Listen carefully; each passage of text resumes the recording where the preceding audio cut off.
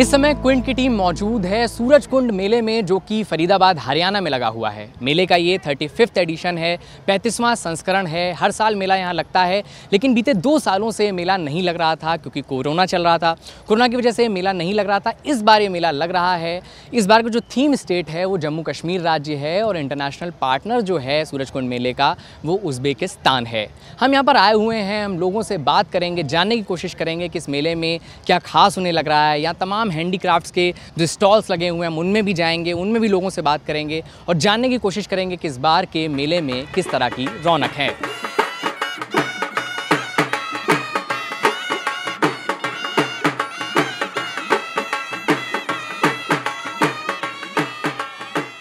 इसको पश्मीना शिकानी शाल बोलते हैं। ये पश्मीना जो है, अगर हम रॉ वूल की करेंगे, ये लद्दाख की पहाड़ियों में एक गोट होता है, उसका नाम नूरी है। कैपरा हेरेक्स अंग्रेज़ी में बोलते हैं। तो उस गोट को ये वूल होता है तो हम उसी का, पश्मीना इस्तेमाल करते हैं, उसका वूल बिहेरिंग करके।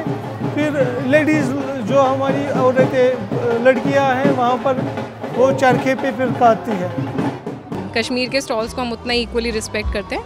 एंड वी लुक फॉरवर्ड कि अगर हम कश्मीर नहीं जा पा रहे तो हम यहीं से शॉपिंग कर सकते हैं।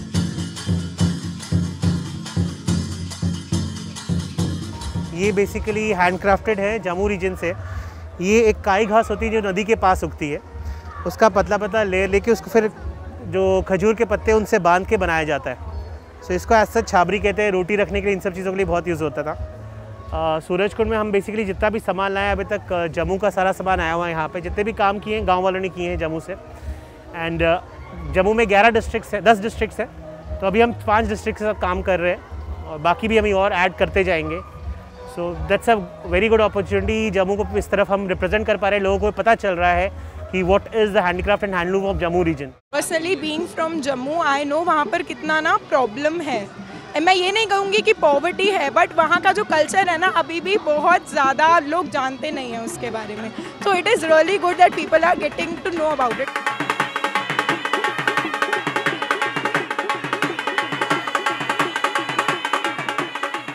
ये जो है पेपर मैशी ये तो फ्रेश कटिंग होती है प्रेस में लाते हैं हम फ्रेश कटिंग यहाँ तो सही मिलता है, उतना भी सही नहीं भी है तो थोड़ा थोड़ा आता है कस्टमर तो आता है।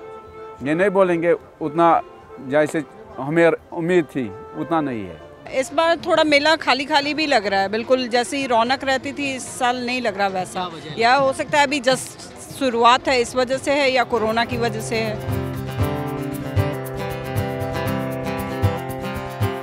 इको फ्रेंडली काम है मेरा। ये ना ये का ये चीज़ है पेन है ये पेन बनाते हैं हम। ये पेन का अंदर हम सीड भी डालता है। ये पेन है क्या है? आपको मालूम है ये प्लास्टिक रिड्यूस करने के लिए हम बनाता है। ये पे, ये पेपर है पूरा। इसका रीफिल बस प्लास्टिक है बाकी पूरा पेपर है। और हम इसके अंदर सीड भी डालते हैं बीज डालते हैं। आप लोग यूज़ करके कदम करो बाहर फेंक दो मिट्टी में डालो किधर भी डालो पौधा हो जाएगा।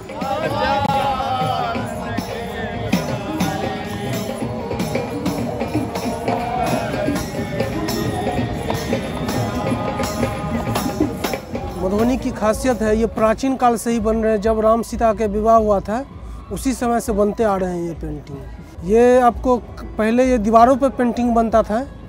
1966 से ये कागज़ पे बनना स्टार्ट हुआ है। द इम्पोर्टेंस इज़ मच क्योंकि जब तक लोग अपने ही आर्ट आर्ट्स और क्राफ्ट को एक्सप्लोर नहीं करेंगे, तब तक उनको पता नहीं चलेगा कि उनके घर में क्या है।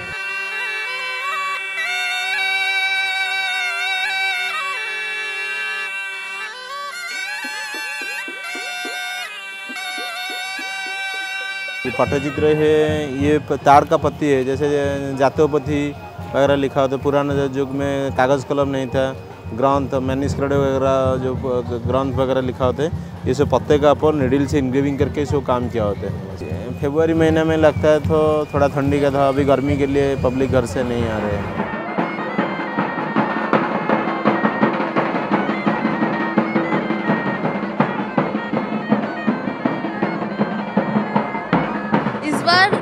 First of all after covid हुआ है सो डिफरेंट लग रहा है अपने आप को ही डिफरेंट लग रहा है ऐसे सोशल जगह में देखना। पार्किंग का क्या है? चार घंटे के हिसाब से ये वन हंड्रेड फिफ्टी रुपये ले रहे हैं। तो बंदा अगर नौ बजे पहुँच जाता है और साढ़े बारह बजे तक वेट करता है तो वन फिफ्टी वो पे कर चुका होता है। और साढ़े बारह इनकी टिकट का टाइम शुरू होता है तो ना तो सीटिंग का अरेंजमेंट है ना किसी और चीज़ का है। टॉयलेट की देखो खड़ी हुई है गाड़ी लेकिन वो टॉयलेट बहुत गंदे हैं। रेट्स कम हो अगर रिजनेबल रेट हो तो लेने में कोई बुराई नहीं है। मतलब अच्छे हैं। आइटम अच्छी है सिलेक्टेड आइटम है। क्विंट की टीम सूरज कुंड मेले में सुबह से मौजूद है। अब शाम हो चुकी है। हमने यहाँ पर तमाम स्टॉल्स देखे हैंडीक्राफ्ट्स के बहुत खूबसूरत खूबसूरत सामान देखे।